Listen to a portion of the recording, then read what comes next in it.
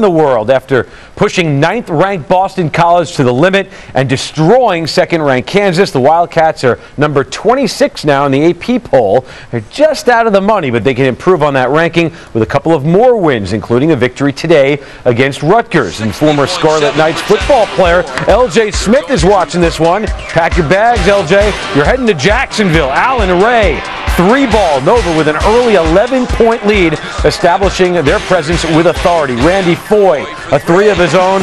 Nova goes 13 of 26 from long range. Rutgers trying to make a game of it. Juel Wiggan hitting from beyond, but the Knights trailed by 18 at the half, so whatever. In the second, Ray picks Quincy Douby's pocket, drives and dishes to Curtis Sumpter, and this is a huge finish. Look at that. That is pretty, pretty stuff.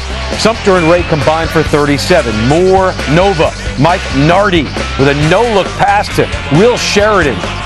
Good stuff. Wildcats score season high 94 points, and they defended as well. Jason Fraser with a huge block. Ray comes up with it, and here we go. Sumpter at the other end. Nova rolling. I mean, rolling 94-61, improving to 12 and 4 on the season. Let's go to the Atlanta.